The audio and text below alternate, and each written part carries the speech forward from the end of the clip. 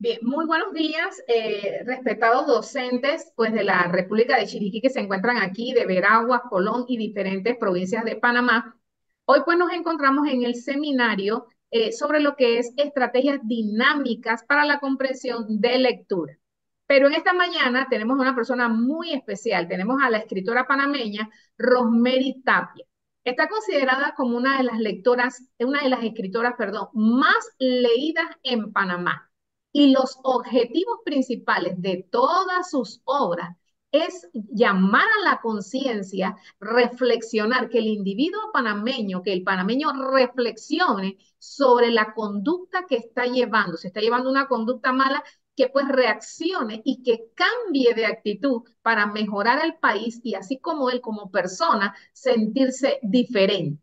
Entonces, en esta mañana, ¿quién más que con una experiencia en lo que es escritura, en lo que es lectura, nos puede decir a nosotros hablar sobre la importancia de la comprensión lectora. Así que bienvenida de parte del Ministerio de Educación a la escritora panameña Rosemary Tapia y el Centro Capacitadores Universidad Interamericana. Bienvenida, escritora Rosemary Tapia. Buenos, buenos días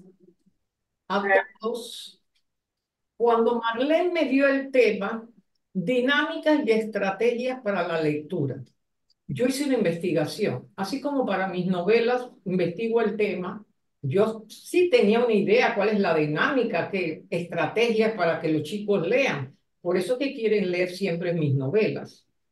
Pero cuando ella me dio esto, digo, voy a hacer una investigación.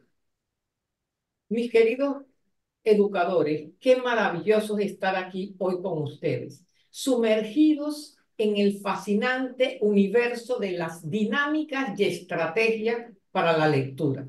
Es un honor compartir este espacio juntos. Vamos a explorar las sendas luminosas que nos ofrece la palabra escrita. Un viaje que nos llevará más allá de las fronteras de la imaginación nos acercará al corazón mismo del conocimiento y la comprensión.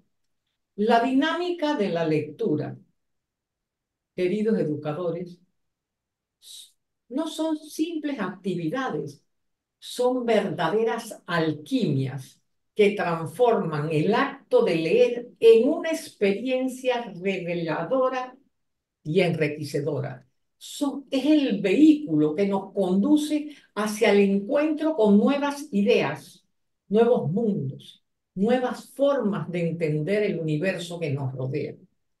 La comprensión lectora es el pilar fundamental de nuestro desarrollo intelectual y va mucho más de la mera descodificación de palabras. Es el arte de tejer significados de entretejer hilos de pensamiento y emoción para dar vida a las páginas que exploramos.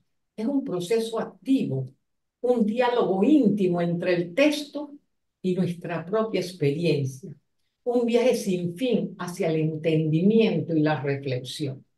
¿Por qué les hablo de la comprensión lectora ahí brevemente? Porque esa es la dinámica más importante para que los niños y jóvenes se interesen en la lectura. Las dinámicas de la lectura llevan del deber al placer, del deber de leer al placer de descubrir. Es esencial que nuestros alumnos no, no vean la lectura como una obligación, sino como una oportunidad de crecimiento, descubrimiento, como un viaje que los lleva más allá de sí mismo, hacia horizontes insospechados. ¿Qué mejor momento de iniciar este viaje que en la infancia y en la adolescencia, en esos años dorados de la exploración y el descubrimiento? Es en la infancia donde sembramos la semilla del amor por la lectura, donde cultivamos la curiosidad, nos alimentamos de la imaginación, a través de dinámicas creativas y, estimulantes. Imagínese, por ejemplo, el poder de una lectura compartida, donde cada palabra se convierte en un lazo que nos une a nuestros compañeros de viaje. o cómo a través del juego y la exploración podemos transformar la lectura en una experiencia inolvidable que deje una huella indeleble en el corazón y en la mente de nuestros niños y jóvenes. ¿Cómo podemos mejorar estas dinámicas? ¿Cómo podemos asegurarnos que, que cada experiencia de lectura sea una aventura inolvidable? La respuesta está en el detalle, en el cuidado, en la atención que dedicamos a cada palabra, cada emoción compartida. Asimismo, vamos tejiendo una red de lectores apasionados, de mentes inquietas y corazones curiosos, que encuentran en los libros no solo un refugio, sino un faro que ilumina su camino en la oscuridad. La dinámica de la lectura es motor que impulsa nuestro viaje hacia el conocimiento, hacia la comprensión, hacia el encuentro con nosotros mismos, con el mundo que nos rodea. En cada página hay un paso apasionante en el camino del saber y la sabiduría algunas dinámicas. Se pide a los participantes que se coloquen en pareja para conocerse y hablarse acerca de lo que leen, su relación con los libros. Luego se les solicita que presenten a su compañero y que expongan los gustos de ese compañero sobre la lectura. Ese es el primer encuentro. La lectura compartida para practicar motivación, el compañerismo la creatividad, se puede realizar una lectura compartida de algunos textos acordes a los intereses y características del grupo. Para ejecutar distintas dinámicas de lectura es necesario saber el significado de cada palabra. Este es un medio para el aprendizaje, para dominar el lenguaje, que es vital. Hay que manejar el sentido de cada palabra en el texto presente al leer darle entonación o dramatizar. Así aumenta la comprensión lectora. Incentivar el gusto por la lectura diaria, iniciando en la aula de clase y proponiendo temas para leer en casa, aplicando las técnicas de subrayado, resúmenes, para que esta sea una lectura relevante. Miren, al escoger las lecturas las mismas no tienen que atrapar. Yo he puesto un segmento muy breve, lectura con propósito, para cultivar en los niños y jóvenes la empatía, un grito desde el silencio, el oscuro abismo del bullying, hasta que el lector sufra, que se sienta acosado, encarna al personaje. Es fundamental comprender que el ciclo de violencia se se va incrementando, que los acosadores muchas veces sufren de violencia en su casa o han sido víctimas del bullying. Es responsabilidad de todos nosotros unirnos en una gran campaña anti-bullying y decirles a las víctimas, no estás solo. Estamos oh. para brindarte apoyo incondicional y solidaridad.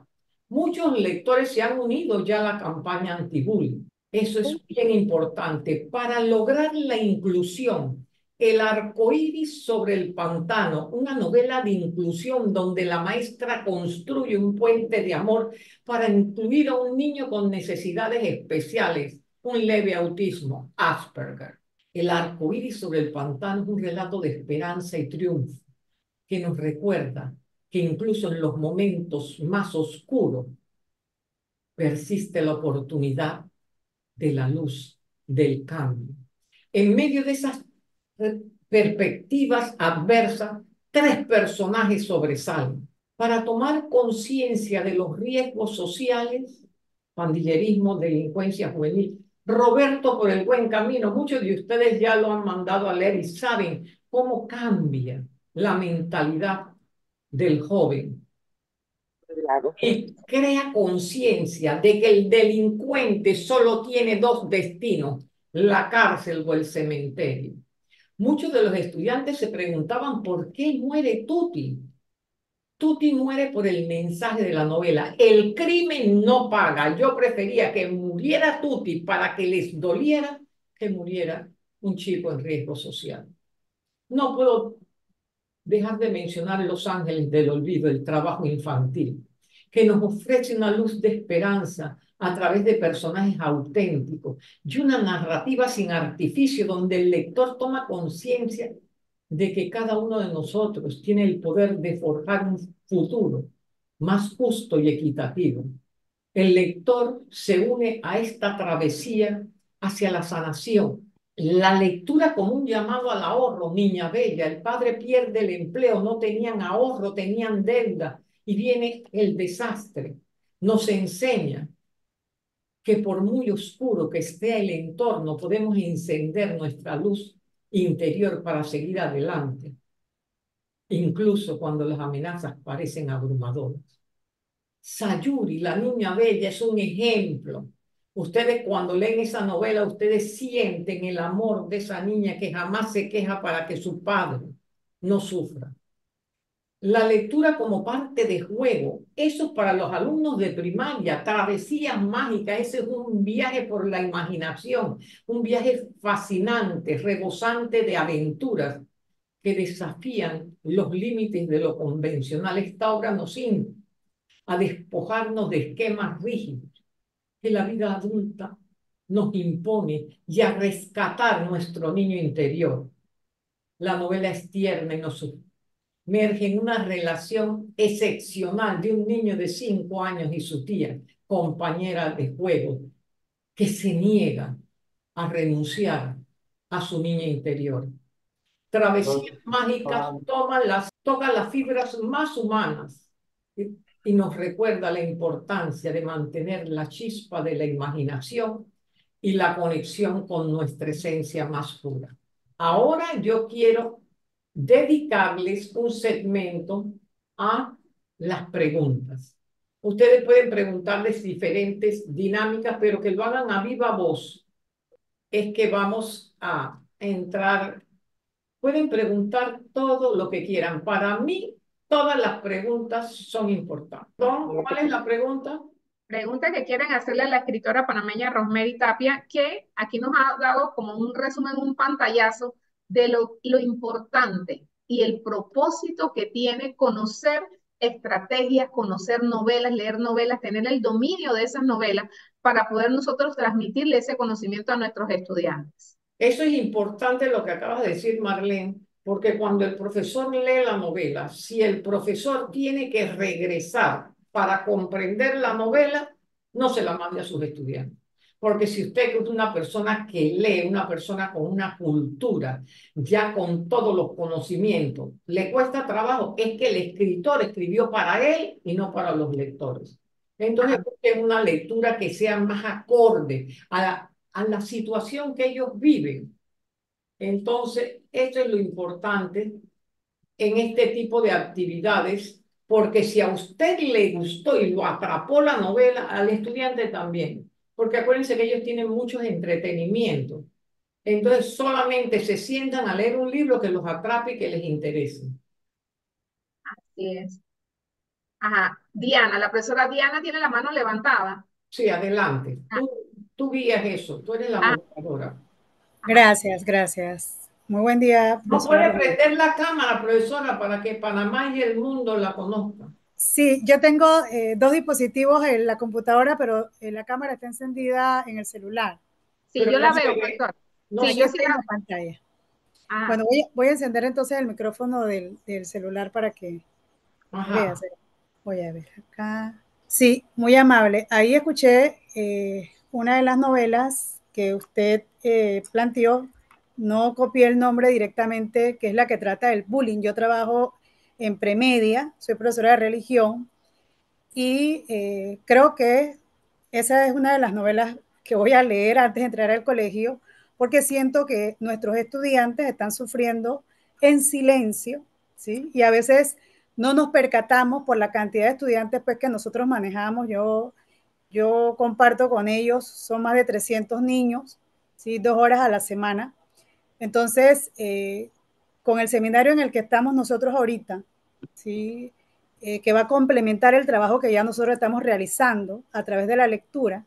¿sí? Entonces, eh, leer esta novela con estas directrices que usted nos ha dado y con las recomendaciones de este seminario, nos puede ayudar a reforzar en cada una de nuestras materias, los maestros que aquí están compartiendo con nosotros y nosotros que somos los profesores de materias especiales. Un grito desde el silencio y tiene un subtítulo, El oscuro abismo del bullying. ¿Sabe por qué los profesores no se dan cuenta? Porque las víctimas están calladas. Tienen miedo. Y como tienen miedo, no hablan. Pero yo se lo he dicho a los estudiantes, ¿por qué prospera el bullying? Porque cuando se burlan de un compañero, los demás lo celebran. Es como comprar protección, pero la víctima de mañana eres tú. Por eso es que debemos estar en contra de todo acoso. Y por otra parte, al final de la novela se hace un comité anti-bullying con dos estudiantes conserva, conciliadores, una psicóloga, la orientadora puede ser la profesora de religión, alguien de la administración del colegio y de los padres de familia. Así que en primera instancia van a resolverlo en el colegio y si no, para eso tenemos el gabinete psicopedagógico, que fueron los que me instruyeron, me dieron mucha literatura. Yo también leí de mi parte, yo hice entrevistas, acosados y acosadores para esta novela. Así que esta novela refleja la realidad que viven los niños. Y por eso yo les digo, los niños sufren mucho y tienen miedo. Y como tienen miedo, callan. Y esta novela los invita a expresar su dolor, a denunciar el acoso. Así que con mucho gusto, miren, anótense mi teléfono. 6980-7972. 6980-7972. Yo los pongo en en comunicación con la editorial. Ya no estoy con, con distribuidora Lewis. Ni llamen allá porque ya yo no estoy. Las novelas que ellos tienen se han puesto ya muy viejas y quieren seguir vendiendo eso. No, no puedo con eso. La novela va a salir con una portada preciosa. Es los niños van a querer leerla y los niños van a anunciar. Y así como los malos se engavillan para perseguir al más débil, los buenos tenemos que unirnos para decirle, no te lo vamos a permitir. Ahí se termina el bullying, ahí se termina el bullying. Y muchos estudiantes hacen bullying de tipo de burla y no saben que eso es bullying. Y eso es bien importante que lo tengan claro. Cada vez que te burlas de un compañero, les estás haciendo bullying. Entonces, adelante, cualquier otra pregunta, con mucho gusto. Bien, eh, también este, una de las novelas que me gusta mucho, mucho de Rosemary, y aquí hay personas pues que viven en lo que es el área de Chiriquí, en regiones muy apartadas, Veraguas, en la provincia de Colón, es este, la novela que, que trata sobre lo que es el trabajo infantil, Los Ángeles del Olvido. Con esa novela, eh, compañeros, yo apliqué estrategias como ustedes no tienen idea, apliqué las dos y apliqué la parte valorativa y hasta puse un trabajo por escrito. Esa, esa, esa novela este, encajona las estrategias todas, todas, todas, todas, de una manera increíble. Y a los chicos, ¿cómo les gustó? ¿Cómo les gustó? Es una novela que se, se trabaja bastante en esa novela, bastante, bastante. Mire, y, es una novela eh, para todos, para todos los niveles. Mire, hay un testimonio sobre esa novela. Una madre iba a acusar porque el niño lloró leyendo la novela. Y la mamá dice, yo no voy a permitir que hagan llorar a mi hijo. Y el niño le dijo, no, mamá, este es llanto del bueno. Y ella me llamó y me dijo a mí, dice, ¿cómo llanto del bueno? Dice, cuando yo vi que esos niños no podían estudiar porque no tenían dinero, me acordé los sacrificios que has hecho tú sola para mandarme al colegio, cómo tú trabajas de duro para que yo el día de mañana sea una persona de bien. Así es que no acuses a la escritora, llámala y dile que yo sentí que yo no te agradecía el esfuerzo y esta novela me hizo pensar todo lo que tú haces por mí. La señora la leyó y dice la señora que ella también lloró y ella decía, es llanto del bueno. Para que ustedes vean cómo el niño toma conciencia y en Niña Bella una niña de nueve años le preguntó al papá, ¿tú ahorras? Dice el papá, no, tú te lo gastas todo, yo no quiero la suerte de la niña bella. Y dice el papá que él leyó la novela y cuando vio que los niños no tenían ni para comer, él lloró. Y a partir de ese tiempo ahorra. Y, y la niña para ver el slip. Y entonces la mamá era muy compradora. Y cuando la mamá quiere comprar algo, pregunta, ¿lo necesitas? Dice la, señora, usted se llevó a mi niña y me trajo la abuela, porque la abuela era muy estricta y reduca a la familia. Esa es una novela hermosa también. Sí, para trabajar la parte social y para prepararnos, para prepararnos que el que termina una carrera tiene que terminar, el que, el que inicia una carrera tiene que terminarla. Y eso le queda a los jóvenes como un consejo, termine lo que está estudiando, porque usted no sabe qué puede pasar. Él pierde el trabajo porque se niega a la tecnología y lo reemplazan. No podemos negarnos, pelearnos con la tecnología. Tenemos que hacer de la tecnología nuestro aliado. Miren, ustedes saben lo difícil que es para mí. Hoy tengo dos, pero hay días que tengo hasta tres y cuatro conversatorios. Yo no me podría desplazar de manera física. Sin embargo, a través de esto ustedes conversan conmigo y queda la experiencia en todas mis redes sociales y sobre todo en YouTube, que no es que van pasando, ahí queda el video que usted con el enlace lo puede ver dentro de 10 años. Y usted dice, ¿cómo cambió la vida de mis estudiantes cuando me esforcé por enviar lecturas con propósito? Y una vez le pregunté a, a, un escritor y el tema dice de lo que sea. No, Tú tienes que estudiar el tema y que tu lectura tenga un propósito. Eso es importante. Entonces, cuando conversen con el profesor, con el escritor que ha, usted se da cuenta si ese escritor tenía claro el tema. Si no lo tenía claro, el estudiante no lo va a entender. Y dentro de las estrategias que vamos a ver mañana, si Dios quiere, hay una que dice identificar el propósito del autor. El autor siempre tiene un propósito, entretener, informar. E, ese es el propósito, hay que buscar el propósito de la obra. Quiero que sepas que hay obras que no tienen propósito. Exacto. Por eso de un lado a otro, de un lado a otro. ¿Y sabe quién me dijo eso? Un alumno de Santiago de tercer año me dijo, cuando el, el, el, escritor no, no tiene centrado el tema, yo no lo leo. Y llegó con un cartucho así, con 15 novelas. Digo, todo eso te lo mandaron en la escuela y con qué orgullo dice, yo leo por mi cuenta. 16 ah, años. De un extracto social de no mucho dinero, bien limitado. Yo él cogía su dinerito, lo iba ahorrando para comprarse un libro. Esa es la maravilla. Ese, ese joven cuando se gradúe va a alcanzar el éxito porque busca un propósito en cada situación. Así es. A ver, ¿alguien más tiene alguna pregunta que quiera hacerle a la escritora?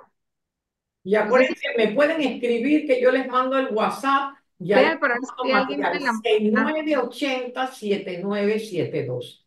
Para la semana de organización voy a hacer cinco charlas. Entre esas va a estar la charla de ustedes porque me encantó ese tema va a estar la de comprensión lectora, la de inclusión, la de lectura también como parte de un juego. Van a haber cinco temas que lo paso en la mañana y en la tarde. Y si ustedes se incluyen en el grupo, ustedes les llega, ya sea en vivo o cuando ya se desocuparon de todas sus actividades, ven las charlas. Y eso les ayuda mucho a que sus estudiantes sean lectores. Si sus estudiantes son lectores, mejoran su índice académico en todas las materias. Sí, porque ya se ha comprobado que el, estudiante que lee tiene esa competencia y no pasa trabajo en otras materias. No sé si por aquí está la profesora Olga. Sí, e incluso ah. matemática. Una vez una profesora de matemática puso en la primera parte Roberto por el buen camino y en la otra matemática. Y yo no entendía. Cuando leyeron Roberto se dieron cuenta que tenían que estudiar porque no querían esa vida para él. Y fue la mejor decisión que hizo la profesora Sí, claro. Los profesores de español deben mandar a leer.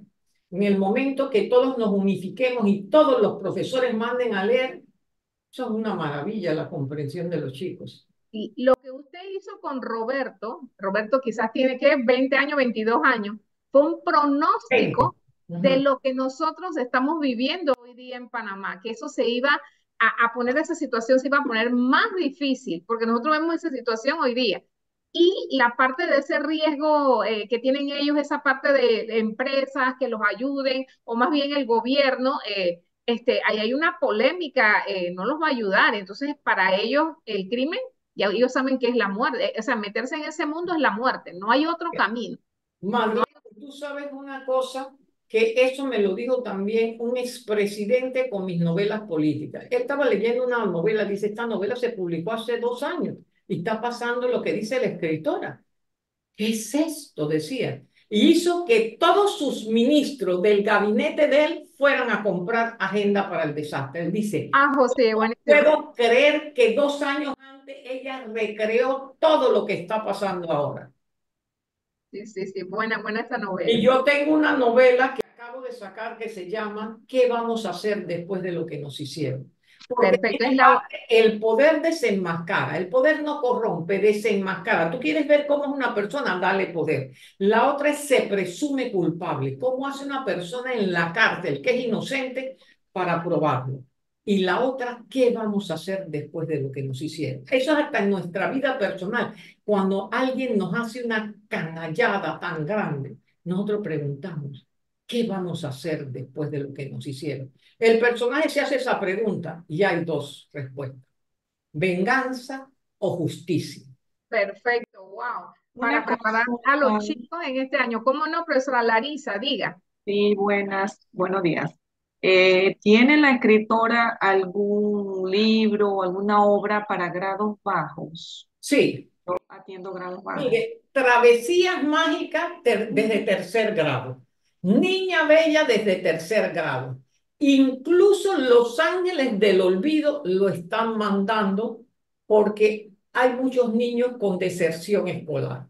Entonces, la del bullying la recomendaron desde cuarto grado. Yo no sabía que incluso en primer grado hacen bullying. Me dijo una profesora, sí, sí, yo tengo segundo grado, tengo cuatro que hacen bullying. Entonces pidió, pidió autorización a los padres para que la fueran leyendo con los padres, porque esa sí es para cuarto, quinto y hasta sexto grado. Entonces, el arco iris sobre el pantano es de un niño y la maestra maravillosa, que hace que ese niño prospere en la vida porque tiene un leve autismo. El arco iris sobre el pantano. Esta la pueden leer quinto y sexto grado. Entonces, ustedes me llaman por esos 6980-7972 y yo les digo, comiencen con travesías mágicas. Después va Niña Bella. Después puede ir Los Ángeles del Olvido o El Arcoíris sobre el Pantano. Porque miren, ¿saben por qué yo soy escritora? Mi padre, mi mamá era maestra de primer grado. Dice, la niña de 10 años está leyendo Crimen y Castigo. Matan a una anciana con una hacha. Y mi papá decía, si la lee, si la entiende, la puede leer. O sea, así de abierto era mi padre, por eso soy escritora. Porque no me pusieron limitaciones. Miren que había un niño de nueve años, iba para diez, que la madre dice, yo no le dejé leer Mujeres en Fuga. Y él se va por atrás, dice, la leí en el baño. Entonces la mamá la compró para ella, de repente se le desaparece la novela y en un solo día se la leyó. El niño es un genio.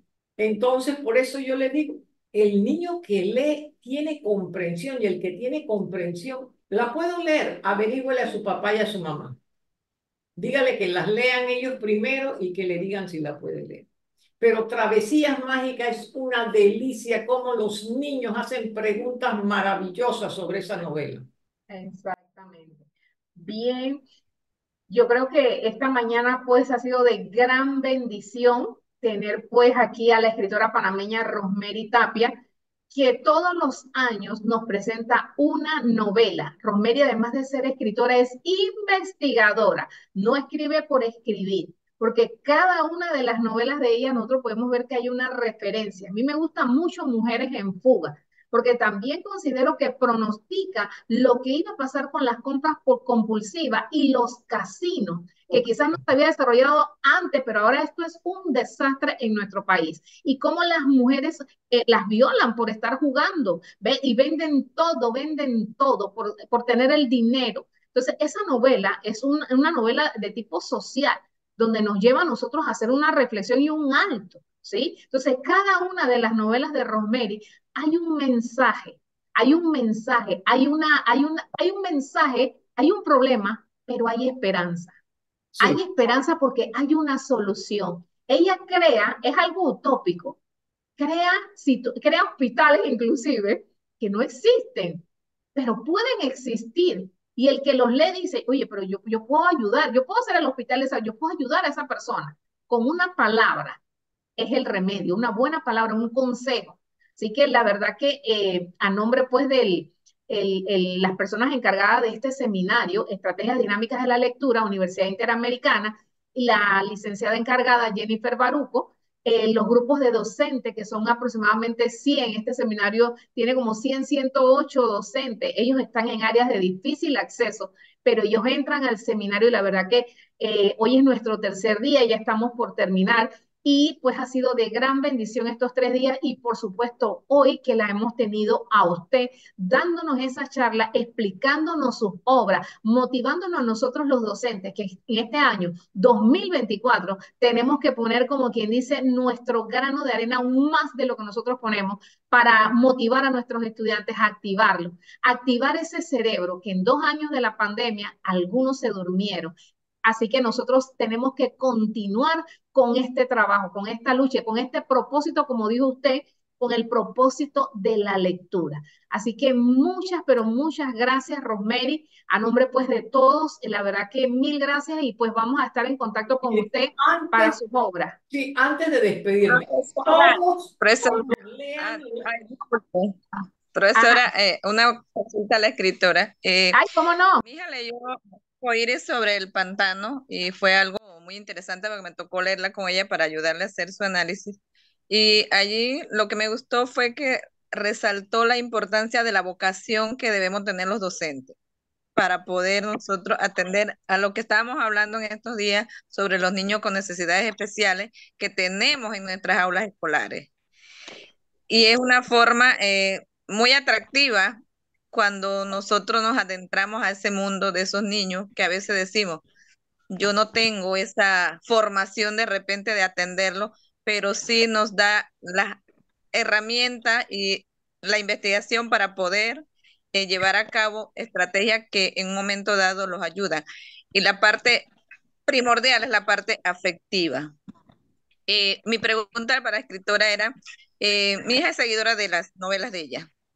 Entonces, ¿cómo haríamos eh, si en un momento dado en una institución educativa pudiésemos contar con la presencia o para una ah, explicación o algo en alguna institución, ¿está en su disponibilidad?